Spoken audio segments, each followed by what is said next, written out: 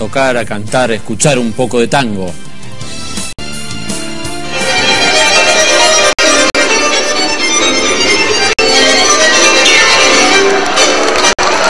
El Festival de Tango de la Falda fue un éxito por partida doble. Por un lado, en la convocatoria y por el otro, en la calidad, el talento y el nivel de las figuras convocadas. El salón estuvo repleto las tres noches. Más de 7.000 fueron las personas que disfrutaron de este fin de semana tanguero que ya es un clásico en las sierras de Córdoba. En el cierre, la despedida del maestro Jorge Ardú tras 60 años de trayectoria fue uno de los momentos más emotivos y aplaudidos de la noche. La felicidad me llevo en el oído el aplauso del público, el cariño de la gente.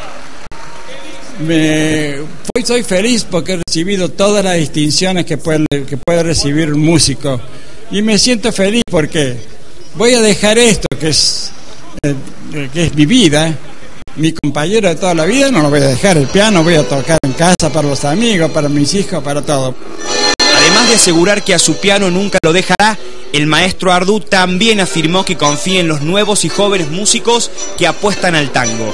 Y sobre el acercamiento de la juventud al género, también habló el maestro Leopoldo Federico, que junto a su orquesta típica fue el encargado de dar el broche final al 2x4 en la falda.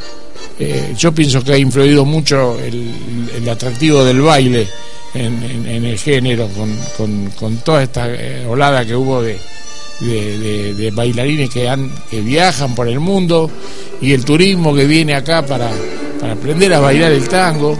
Y de, paso este, los músicos que están trabajando en los distintos locales de turismo este, hace, que la juventud un poco se contagie y, y pienso que es así la cosa, eh, ojalá sigan creciendo. El público disfrutó cada minuto de la última noche, que duró más de siete horas.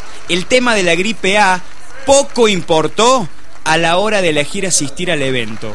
Hemos olvidado de todo estos días, fue tanta la emoción y tan hermoso todo que ni nos acordamos de la gripe A realmente. Nos hizo olvidar todo, pasamos unos días maravillosos. Acá nadie se siente que tiene tos, ni trae frío, ni nada. Se olvida de todo. Ah, nos olvidamos de todo. No, no, no, no creemos que venga la A por acá. Bueno, nosotros teníamos miedo al principio, luego nos pusimos eh, a pensar que bueno, que si veníamos sanos y veníamos a ver algo bueno como esto, bueno, no es que no le, no le teníamos miedo, realmente sí, pero bueno, estamos eh, salvados hasta ahora por lo menos. Y otro de los clásicos de este festival es el certamen de voces. La ganadora de este año tiene 25 años y es de la localidad de Balnearia. Eh, es un sueño cumplido, ¿no? Pero no solamente ganar el certamen, sino estar las tres noches en este festival tan hermoso, participar, eh, poder mostrarle a la gente lo que uno sabe hacer, lo que ama hacer, ya eso es un sueño. Y ganarlo, bueno, la verdad es que es muy difícil describirlo, pero sí es una felicidad muy grande. ¿Te importó que grite de rodillas? No me hagas sufrir de este modo y querés que me olvide de todo, cerrando mis ojos a tanto dolor. Una extraordinaria cantante, Luciana. Bella y muy linda voz, ¿eh? Posibilidad de escuchar hace muy poquito en Balnearia, cuando fuimos. Son de los valores de Balnearia. Uh -huh. No, no, no, gran cantante. Acaba de, de, ganar nada más y nada menos que el Festival Nacional del Tango.